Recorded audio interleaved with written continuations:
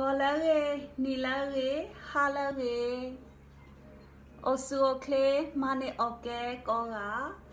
ပူဖလက်တော့ covid-19 တဆူတဆာအတေတဖာခဲလာမောယောလေတာတော့သူကောကမင်္ဂလာနနက်ခင်းမှာညနေခင်းမှာနေ့လယ်ခင်းမှာအားလုံးနေကောင်းကြမှာကြပါစေ covid-19 ရန်ကနေပြီးတော့ကင်းဝေးကြပါစေနော် ဒီရဲ့ကျမပြောမဲ့ခေါင်းစဉ်ကတော့ဘာလဲဆိုလို့ရှိရင်ဒီ2020ရွေးကောက်ပွဲမှာ2020မြန်မာနိုင်ငံရဲ့ရွေးကောက်ပွဲမှာအနိုင်ရရှိသွားတဲ့တိုင်းရင်းသားဒေတာကိုနာမည်ခံထားတဲ့တိုင်းရင်းသားကိုနာမည်ခံထားတဲ့ နိုင်ငံရေးသမားတွေအားလုံးနိုင်ငံရေးပါတီတွေအားလုံးเนาะဒီလွတ်တော်အမတ်တွေပြည်နယ်ဝန်ကြီးချုပ်တွေဖြစ်လာမဲ့သူတွေအားလုံးလောက်ရမဲ့တာဝန်ဝတ်တရားတွေကိုပြောမှာဖြစ်တယ်လောက်ရမဲ့တာဝန်ဝတ်တရားတွေကိုပြောမှာဖြစ်တယ်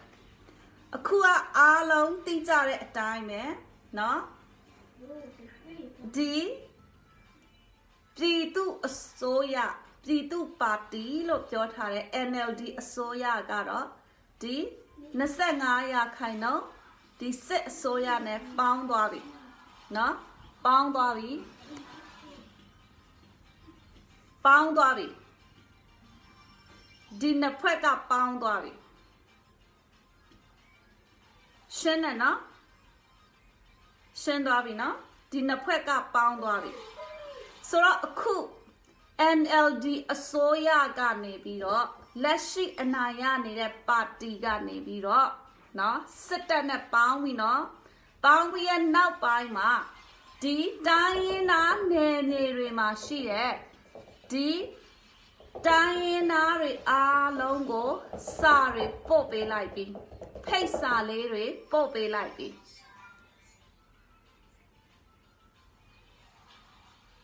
အမှန်ဆိုရင်အစိုးရတရက်ဟာသူဘာတွေလောက်ချင်လဲသူလောက်ရမဲ့နိုင်ငံရေးလမ်းစဉ်ကဘာလဲဆိုတာကိုသူတိတိကျကျပွတ်ပွတ်လင်းလင်းမြင်မြင်တတဖြစ်အောင်မြမပြည်မှာနေထိုင်သောပြည်သူလူထုအားလုံးကို သူချပြရမှာဖြစ်တယ်ခိုးကြောင်ခိုးဝိုင်းနဲ့မလောက်ရဘူး ခိုးကြောင်ခိုးဝိုင်းနဲ့မလောက်ရဘူးကဲဘာဖြစ်လို့မလောက်ရဘူးလဲဆိုတော့အကြောင်းအရာလေးတွေကိုအနှဲငယ်ချပြသွားမှာဖြစ်တယ်အခုအနိုင်ရပါတီကစစ်တပ်နဲ့ပေါင်းသွားပြီเนาะငကိုတကိုဖြစ်သွားပြီနလွာပေါင်းနဲ့ပြီးတော့တရွက်ဖြစ်သွားပြီဗါလဲဆွဲတော်ရွက်လားဆွဲတော်ရွက်လို့ဖြစ်သွားပြီ နော်ဆိုတော့အခုတိုင်းရင်းသားတွေကိုတိုင်းရင်းသားတွေရဲ့နာမည်ကိုခံထားတဲ့နိုင်ငံရေးသမားတွေကိုသူတို့ဖိတ်လိုက်ပါပြီနော်အမျိုးသားညီညွတ်ရေးအစိုးရ Federal ပြည်ထောင်စုအစိုးရဖွဲ့မယ်ဆိုပြီးတော့သူတို့ဖိတ်စာတွေခေါ်လိုက်ပြီအဲ့ဒီလိုခေါ်လိုက်တာလေသူတို့ဒီနိုင်ငံတကာကလှုပ်တလို့နော် ဒီ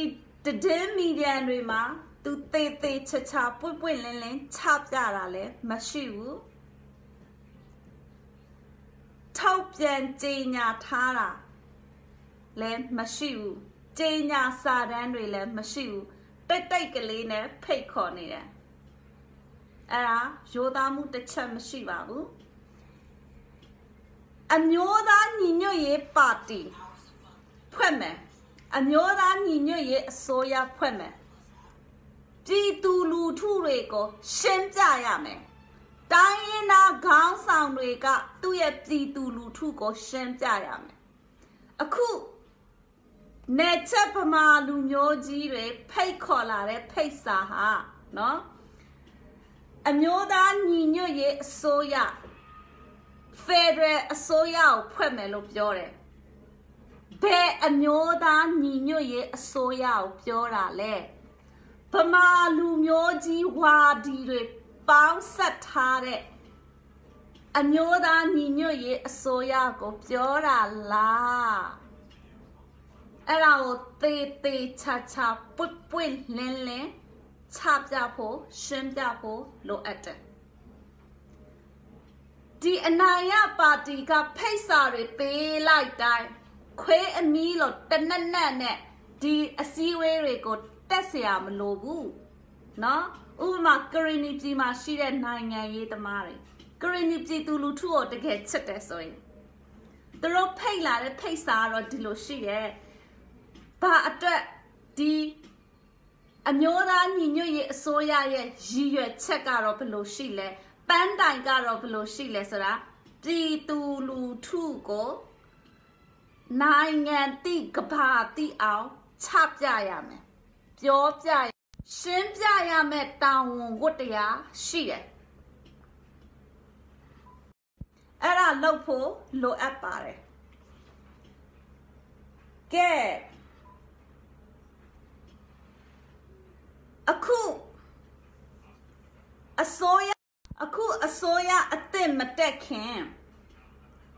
ကိုပြည်သူလူထုတွေကိုကိုရှင်းပြရမယ်တိတိကျကျအကြောင်းအရာတွေကိုချပြရမယ်ကဲအခုဆိုလို့ရှိရင်เนาะဗမာအခုဆိုလို့ရှိရင်ဗမာပြည်မှာဒီနိုင်ငံခြားတွေစီကနေပြီးတော့ကဘာဘန်တို့เนาะပြီးတော့ဒီအာရှဘန်တွေမှာချေးထားတဲ့ငွေတွေဘယ်လောက်ရှိပြီလဲ ဒီ9နှစ် NLD အစိုးရရဲ့9နှစ်တက်တန်းမှာသူတို့ချေးထားတဲ့ငွေတွေဘယ်လောက်ရှိပြီလဲအရင်ကဘယ်လောက်အရင်ကဘယ်လောက်လဲအတိုးကကောဘယ်လောက်ပေါင်းပြီးတော့ဆက်ရမလဲအဲ့ဒါကိုပြည်သူလူထုကိုအရင်ဆုံးချပြရမယ်လောက်တဲ့လောက်ထိုက်တဲ့အလုပ်ကိုအရင်ဆုံးလုပ်ရမယ် ပေါက်တက်ကရတွေမလုံနဲ့အချိန်မဆွဲနဲ့လောက်ချင်တဲ့စန္ဒရှိရမယ်လောက်တဲ့လောက်ထိုက်တဲ့အလုပ်ကိုတိတိကျကျညံ့ညံ့ဆဆန်မှန်မှန်ကန်ကန်ပွတ်ပွတ်လင်းလင်းညင်တာအောင်ချပြရမယ်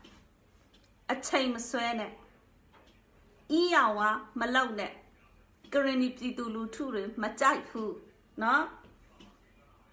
ထပ်ပြောမယ်နော်နံပါတ်1အချက်အခု အနာရပါတီကနေပြီးတော့စစ်တပ်နဲ့ပေါင်းပြီးဖိတ်စာတွေပို့လာပြီနော်အမျိုးသားညီညွတ်ရေးအစိုးရဖက်ဒရယ်အစိုးရဖွဲ့မယ်လို့ပြောတယ်သူတို့ဖွဲ့မဲ့အမျိုးသားညီညွတ်ရေးအစိုးရဘယ်အမျိုးသား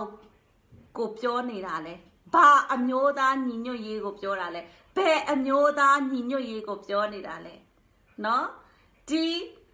ဗမာလူမျိုးကြီးဝါဒီကိုဆွဲကင်ထားတဲ့အမျိုးသားညီညွတ်ရေးကိုပြောတာလားအဲ့ဒါကိုတေးသေးချာချာသိဖို့လိုတယ်တေးသေးချာချာရှင်းပြဖို့လိုတယ်အမျိုးသားညီညွတ်ရေးအစိုးရရဲ့ရည်ရွယ်ချက်ကဘာလဲဘသူတွေကိုအကျိုးပြုမှာလဲအဲ့ဒါကိုပြည်သူလူထုတွေကိုချပြဖို့လိုတယ်နှစ်တစ်ချက်ကနော် ဗမာပြည်မှာအကျွေးဘလောက်ရှိသွားပြီလဲကမ္ဘာဘဏ်ကအာရှဘဏ်ကတခြားနိုင်ငံစီကဒီ9နှစ်အတွင်းမှာချေးထားတဲ့ငွေတွေဘလောက်ရှိလဲအတိုးကအရင်ကဘလောက်ပြန်ဆက်ဖို့လိုအပ်လဲပြည်သူလူထုတွေကိုချပြမလိန်နဲ့အဲ့ဒါကိုအရင်ဆုံးရှင်းနော်ဝန်ကြီးတွေဒီလွတ်တော်အမတ်တွေကိုမသွားခင်ဒီကိစ္စကိုအရင်ဆုံးရှင်းရမယ်နော် အစိုးရအစ်စ်တစ်ဖွဲ့မတက်ခင်နော်အစိုးရရဲ့နောက်တက်တန်းအစ်စ်ကိုမတက်ခင်ဒီအဟောင်းတွေကိုအရင်ဆုံးရှင်းထုတ်ပြရမယ်ရှင်းထုတ်ရမယ်တာဝန်ဝတ္တရားရှိတယ်ကဲနံပါတ်3အချက်မဖြစ်မနေလောက်ရမယ်အလုပ်ရှိရတိုင်းရင်းသားနိုင်ငံရေးခေါင်းဆောင်တွေတိုင်းကရင်နီတိုင်းရင်းသားတွေရဲ့နာမည်ကိုခံထားတဲ့လူတွေဒီ လက်ရှိအနာရပါတီတမတော်ကိုမေးမင်းတို့ ICJ မှာအမှုရင်ဆိုင်နေရတယ်ကဲ ICJ မှာရင်ဆိုင်နေရတဲ့အမှုရဲ့အခြေအနေအမှုအသွားအလားဘယ်လိုရှိနေလဲမေးရဲလားမေးရဲကြရဲ့လားမေးရမှာဖြစ်တယ် ICJ မှာနိုင်ငံတော်အတိုင်ပင်ခံဒေါ်အောင်ဆန်းစုကြည်က တက်မတော်ကာကွယ်ပေးတယ်နော်ကာကွယ်သွားတာနော်ဗမာပြည်ရဲ့တရားဥပဒေစိုးမိုးမှုတွေဒီစစ်ဖက်ဆိုင်ရာတရားဥပဒေစိုးမိုးရေးတွေအရန်အရန်အင်မတန်မှကောင်းပါတယ်ဆိုပြီးတော့ကာကွယ်ပြောဆိုသွားတာဆိုတော့ဒီ2011နောက်ထပ်အစိုးရတက်တန်းကိုမသွားခင်ဒီကိစ္စကိုလည်းကရီနီပြည်သူလူထုတွေကိုရှင်းပြနော် ဒီတိုင်းရင်းသားညီအကိုတွေဖြစ်တဲ့ရိုဟင်ဂျာမွတ်စလင်တွေကိုတတ်တုံးကကရီနီမပါဘူးကရီနီတွေမပါဘူးကဲ ICJ မှာအမှုလဲရင်ဆိုင်ရမယ်အမှုရင်ဆိုင်နေရတယ် ICC တွေမှာအာဂျင်တီးနားတွေမှာအမှုတွေကိုဆက်လက်ရင်ဆိုင်ရမယ်ဆိုတော့ဟဲနော်ညီအကိုချင်းတွေပဲချစ်ချစ်ခင်ခင်နေကြရအောင်နော် ငါတော့ရိုဟင်ဂျာမွတ်စလင်တွေနော်တိုင်းရင်းသားညီကိုတွေဖြစ်တဲ့ရိုဟင်ဂျာမွတ်စလင်တွေကိုဂျန်နိုဆိုက်လုပ်ပစ်သွားပြီအခုငါကလေထောင်ဆက်နေကြလို့ရှရင်နင်တို့ကရင်နီတွေကလည်းငါနဲ့အတူထောင်လိုက်ကြပေါ့ထောင်ထဲမှာအဖော်လေးဖြစ်တာပေါ့လုံနေတယ်အဲ့ဒါကိုတိုင်းရင်းသားခေါင်းဆောင်တွေပြတ်သားဖို့လိုတယ်နော်ပြည်သူလူထုတွေကိုချပြဖို့လိုတယ် ကျမတို့ကရင်နီပြည်သူလူထုတွေကတော့နော်ဒီအမှန်တရားနဲ့ငြိမ်းချမ်းမှုအတွက်ရက်တီတော့လူမျိုးတွေပဲဖြစ်ရမယ်နော်အဲ့ဒါကိုရှင်းရမယ်ဒီကိစ္စတွေကိုအရင်ဆုံးရှင်းရမယ်နော်ကဲနောက်ထပ်တိုင်းရင်းသားခေါင်းဆောင်တွေ တိုင်းရင်းသားနာမည်ကိုခံထားတဲ့ခေါင်းဆောင်တွေနိုင်ငံရေးသမားတွေเนาะ2021เนาะမြန်မာနိုင်ငံရဲ့အစိုးရတက်တန်းအတစ်เนาะဒီတာဝန်တွေကိုမထမ်းဆောင်ခင်မှာဒီတိုင်းရင်းသားခေါင်းဆောင်တွေကိုဖိတ်ကြားလာတဲ့စာတွေအစည်းအဝေးတွေ ညီလာခံတွေနော်ဒီဖိတ်ခေါ်မှုမှန်သမျှအားလုံးအစည်းအဝေးသွားတက်ပြီးပြန်လာမယ်ဆိုလို့ရှိရင်အစည်းအဝေးမတက်ခင်မှာလဲဂရနီပြည်သူလူထုတွေကိုအကြောင်းအရာတွေကိုချပြရမယ်ပြည်သူတွေကိုကြေညာစာရန်ထုတ်ပြန်ပြီးတော့ချပြရမယ်ဟိုကရားပြည်နယ်တည်င်းများစုံစည်းရာဆိုတဲ့ဒီတခိုးကြဘိုးဓမြအယ်ဖောင်းရှိုး တက်နောင်ထွန်းစန်နီလောက်တဲ့ဒီတည်င်းမီဒီယာလို့တော့မဟုတ်ဘူးလေနော်မှန်ကန်တိကျတဲ့ဒီကြေညာစာတမ်းကိုထုတ်ပေးရမယ်ကဲအစည်းအဝေးကိုသွားပြီဆိုလို့ရှိရင်လည်းအစည်းအဝေးမှာဘာတွေဆွေးနွေးခဲ့လဲရလက်တွေကတော့ဘယ်လိုရှိလဲဆိုတာကိုလည်းပြည်သူလူထုတွေကိုပြန်လဲပြီးတော့ချပြရမယ်အဲ့ဒါတွေကိုမလုံနိုင်ဘူးဆိုလို့ရှိရင်ဒီလာမဲ့2021 ဒီလွတ်တော်ထဲပဲဝင်ဝင်ပြည်နဲ့အစိုးရပဲဖြစ်ဖြစ်ဘာညာကွိကွအစိုးရပဲဖြစ်ဖြစ်ဖြစ်လာမဲ့တိုင်းရင်းသားခေါင်းဆောင်တွေအားလုံးဟာဆိုလို့ရှိရင်ပခိုးတွေပဲဖြစ်ပါတယ်ရာဇဝမှုကိုနှစ်သက်ပျော်ရွှင်တဲ့သူတွေပဲဖြစ်မယ်ဆိုတော့ကျမတို့ကတော့ကြိုတင်ပြောထားမယ်နော်ကရင်နီပြည်သူလူထုတွေရဲ့ကိုစားကိုကြိုတင်ပြောထားမယ် ကရင်နီပြည်ကိုကိုစားပြုတော့ကရင်နီပြည်သူလူထုကိုကိုစားပြုတော့ကရင်နီတိုင်းရင်းသားနာမည်ကိုခံပြီးတော့ဒီ2008ဆိုတဲ့ဒီ2008ဆိုတဲ့အခြေခံဥပဒေအောက်ကိုဝင်မဲ့သူများအားလုံးဒီအခုနပြောသွားတဲ့အချက်တွေကိုထုတ်ဖော်ကြေညာပေးရမယ်ပြည်သူလူထုတွေကို ပြည်သူကိုကိုစားပြုတဲ့အစိုးရဆိုရင်ပြည်သူရဲ့စန္ဒကိုရွေးရမယ်ကိုဟာကိုတိတ်တဆိတ်နဲ့သွားမယ်ဆိုလို့ရှိရင်ရှင်းတယ်ဂရင်းနီပြည်သူလူထုနဲ့ဒီခေါင်းဆောင်တွေနဲ့ဘာမှပတ်သက်ဆက်နွယ်ခြင်းမရှိဘူးသူတို့တွေဟာကျမတို့ဂရင်းနီပြည်သူလူထုတွေရဲ့ခေါင်းဆောင်တွေမဟုတ်ဘူးဆိုတာကိုကျမတို့ကတော့ကြိုတင်ပြီးတော့ကြေညာထားပါတယ်တကဘာလုံးသိအောင်လဲကြည်ညာထားပြီးသားပဲ เนาะဒီ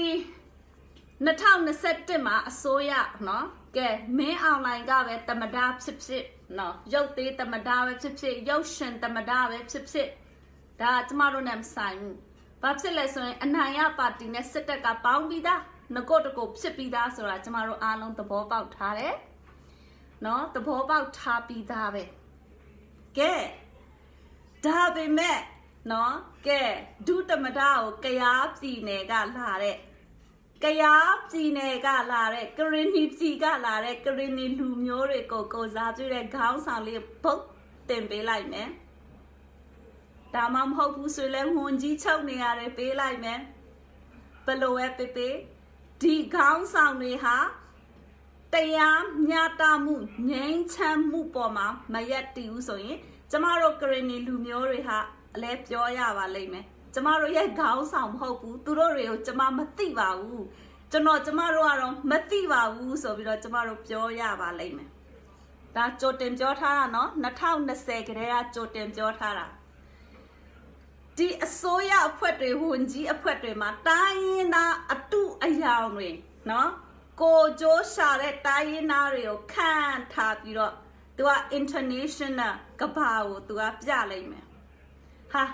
မြန်မာနိုင်ငံမှာတော့တိုင်းရင်းသား135မျိုးပဲရှိပါတယ်ရိုဟင်ဂျာမွတ်စလင်တွေတော့မပါပါဘူးလာမလောက်နဲ့မြန်မာနိုင်ငံမှာတိုင်းရင်းသား144မျိုးကျော်ရှိတယ်နော်အဲ့ဒါတမိုင်းအစ်စ်အမှန်ကိုပြောတာကဲပြီးလို့ရှိရင်ကဘာကိုသူတို့ပြလိုက်မယ်ငါတို့ရဲ့အစိုးရအဖွဲ့ထဲမှာတိုင်းရင်းသားတွေလည်းပါတယ်နော်အမျိုးသားညီညွတ်ရေး ပါတီဖြစ်ပါတယ်အမျိုးသားညီညွတ်ရေးကိုဂုံဆောင်သောအစိုးရဖြစ်ပါတယ်ဗမာနီဗမာဖက်ဒရယ်စနစ်ဖြစ်ပါတယ်ဆိုတော့သူတို့ပြောလိုက်မယ်ဘာဖြစ်လဲဆိုရင်သူတို့ကကြိုးကွင်းနဲ့နီးနေတယ်လေဖမ်းဝရမ်းတွေထောက်နေပြီအခုလက်ရှိနိုင်ငံရေးခေါင်းဆောင်တွေအားလုံးဟာဖမ်းရဝမ်းရဝမ်းထဲမှာပါနေပြီ ဆိုတော့အပြစ်လောက်တုံးကတော့သူတို့ပဲလောက်တယ်ဒါပေမဲ့အပြစ်ကိုတကယ်ရတဲ့အချိန်မှာသူတို့ကသူတို့ဟာသူတို့မယူချင်ညီကိုချင်းချင်းတွေပဲလာကရီနီတွေလည်းလာနော်မင်းတို့တော့ငါတမဒပေးလိုက်ပါတယ်တမဒရာထူးလေးပေးလိုက်ပါတယ်မင်းတို့ငါပေးတဲ့ရာထူးနဲ့လာခနဲ့ပါဇက်ပိတ်ပြီးတော့နေပါလွတ်တော်ထဲမှာကလန်ကဆန်မလုံးနဲ့ပြီးလို့ရှိရင် international ကနော်ဒီကဘာကမေးလာခဲ့ရင်ကဲ ICJ ICC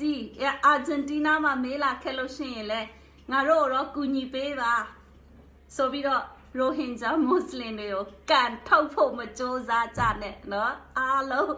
တရားခံတွေဖြစ်သွားမယ်နော်အားလုံးတရားခံတွေဖြစ်သွားမယ်ဆိုတော့ကိုမလောက်ခဲ့တဲ့ပြစ်မှုကိုသွားပြီးတော့မပူးပေါင်းနဲ့နော်ဥပဒေမှာရှိတယ်နော်ဒီ လွန်ထားတဲ့သူနဲ့သွားပြီးတော့ပေါင်းမယ်အားပေးအားမြောက်လုပ်မယ်နော်ကျင်းမှုလောက်ထားတာကိုမတိကြိုးကြုံပြုမယ်ဆိုလို့ရှိရင်တင်ဒီလဲပဲတရားခံဖြစ်သွားပါလိမ့်မယ်ဆိုတော့တိုင်းရင်းသားနိုင်ငံရေးခေါင်းဆောင်တွေတိတ်မကြွကြပါနဲ့အလောက်ကိုလောက်မယ်ဆိုရင်ပြည်သူလူထုနဲ့တိုင်ပင်ပါပြည်သူလူထုကိုတိတိ တတာပွပွလင်းလင်းချပြပါဟိုကခေါ်တိုင်းအမီးတနက်နက်နဲ့လိုက်ပြေးနေမယ်ဆိုလို့ရှိရင်တော့ကျမတို့ပြည်သူလူထုကလည်းပြောရပါလိမ့်မယ်ဒီကရင်နီခေါင်းဆောင်ကတော့ငါတို့ရဲ့ခေါင်းဆောင်မဟုတ်ဘူးငါတို့ကြိုက်လို့ရွေးချယ်ထားတာမဟုတ်ဘူးငါတို့ခေါင်းဆောင်မဟုတ်ဘူးကရင်နီပြည်သူလူထုကိုကိုစားပြုတဲ့ခေါင်းဆောင်မဟုတ်ဘူးငါတို့နဲ့ဘာမှမဆိုင်ဘူးဆိုပြီးတော့ ကျမတို့ပြည်သူလူထုကလည်းပြောမှာဖြစ်ပါတယ်ဆိုတော့ပြည်သူကိုရွေးမလားရာထူးလှခနဲ့ဗမာလူမျိုးကြီးဝါဒစစ်အာဏာရှင်တွေကိုရွေးမလားငိမ့်ချမ်းရေးနဲ့တရားမျှတမှုပေါ်မှာရက်တီမလားကလိန်ကကြစ်ညစ်ပတ်ညစ်ဆုပ်နေတဲ့မြန်မာနိုင်ငံရေးလောကသားတွေနဲ့ပူးပေါင်းမလား တိုင်းရင်းသားခေါင်းဆောင်တွေကိုဟာကိုစဉ်းစားဆုံးဖြတ်နော်ဒါ2021မကူးခင်မှာကရင်နီပြည်သူပြည်သားတွေအားလုံးရဲ့ကိုစားကြကြိုတင်ပြောထားတာဖြစ်တယ်နောက်မှကရင်နီပြည်သူပြည်သားတွေကိုလာပြီးတော့မဆွဲထက်နဲ့နော်ကိုမိုက်မဲကိုရဲ့မိုက်မဲမှုကိုကိုပဲခန်းကရင်နီပြည်သူလူထုတွေကိုမဆွဲထက်နဲ့ အဲ့ဒါကိုကြိုတင်ပြီးတော့ပြောပြချင်တယ်ပြောထားချင်တာဖြစ်ပါတယ်ကဲအထွေထွေတည်င်းတွေကိုနည်းနည်းလေးသွားပြီးတော့အဆုံးသတ်မယ်နော်ဒီရက်ကအခုဒီဖင်လန်နိုင်ငံမှာကိုရိုနာဗိုင်းရပ်စ်ကူးစက်ဖြစ်ပွားမှုနှုန်းအနေအထားဘယ်လိုရှိနေလဲဆိုတာကိုကြည့်ရအောင်နော်ဒီဟယ်ဆင်ကီမြို့တော်ဟယ်ဆင်ကီရဲ့ဘေးပတ်ဝန်းကျင်မှာရှိတဲ့ နော်မြို့တွေအတွက်ထူထောင်ထားတဲ့ဟယ်ဆင်ကီဆေးရုံကြီးမှာဆိုလို့ရှိရင်နော်ဒီဖလန်နိုင်ငံတောင်ပိုင်းပေါ့နော်မှာဆိုလို့ရှိရင်ဆေးရုံကြီးမှာဒီကိုဗစ်ရောဂါကူးစက်မှုကြောင့်ဆေးရုံတက်ပြီးတော့ဆေးဝါးကုသမှုခံနေရတဲ့သူက49ယောက်ရှိတယ်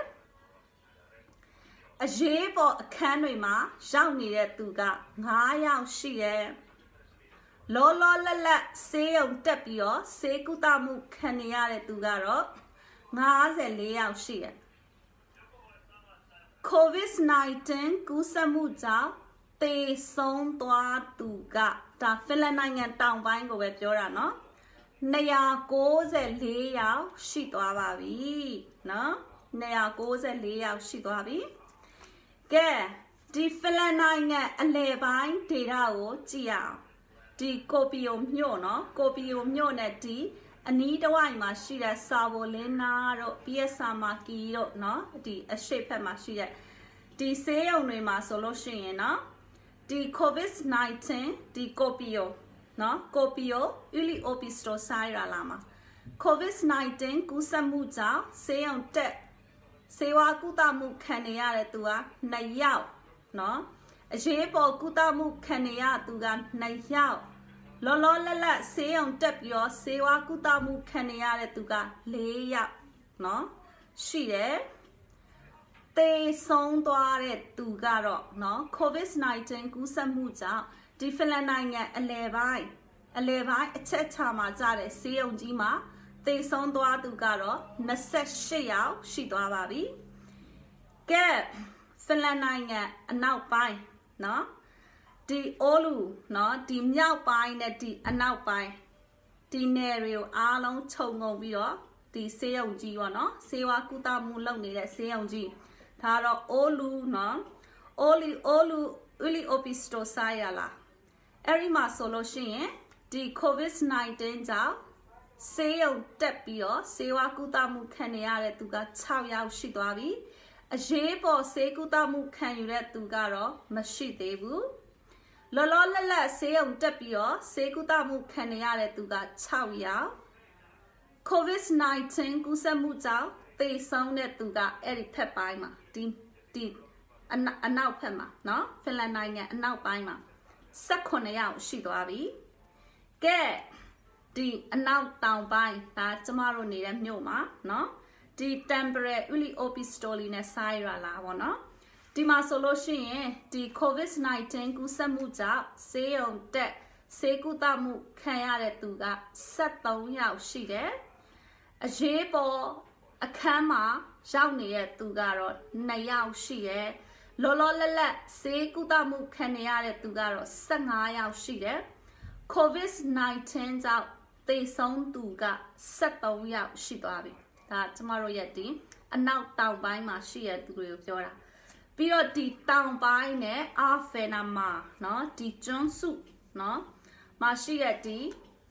ဒေတာတဝိုက်မှာရှိတဲ့လူတွေအတွက်ပေါ့နော်ဖွင့်ထားတဲ့ဒီဒီဆေးရုံကြီးမှာဆိုလို့ရှိရင် COVID-19 ကူးစက်မှုကြောင့်เนาะဆေးဝါးကုသမှုခံနေရတဲ့သူက၈ယောက်ရှိတယ် အရေးပေါ်ကုသမှုခံယူနေရတဲ့သူကတော့3ယောက်ရှိတယ်လောလောလတ်လတ်ဆေးရုံတက်ပြီးတော့ဆေးကုသမှုခံနေရတဲ့သူက17ယောက်ရှိတယ်အဲ့ဒီမှာစုစုပေါင်းเนาะသေဆုံးသူဦးရေစုစုပေါင်းက22ယောက်ရှိတယ်ကဲဖင်လန်တနိုင်ငံလုံးကိုခြုံပြီးတော့ပြောမယ်ဆိုလို့ရှိရင် ဖင်လန်နိုင်ငံမှာ COVID-19 ကူးစက်ပြန့်ပွားမှုကြောင့်နော်ကူးစက်မှုကြောင့်ဆေးဝါးကုသမှုခံနေရတဲ့သူ88ဦးရှိတယ်စုစုပေါင်း88ဦးရှိတယ်အရေးပေါ်ဆေးရုံတွေမှာဆေးဝါးကုသမှုခံနေရတဲ့သူလူနာပေါင်းကတော့12ဦးရှိတယ်စုစုပေါင်း12ဦးရှိတယ် လောလောလတ်လတ်ဆေးရုံမှာတက်ရောက်ပြီးတော့ဆေးဝါးကုသမှုခံနေရတဲ့သူကစုစုပေါင်း90ယောက်ရှိတယ်ဖင်လန်နိုင်ငံမှာ COVID-19 ကြောင့်เนาะ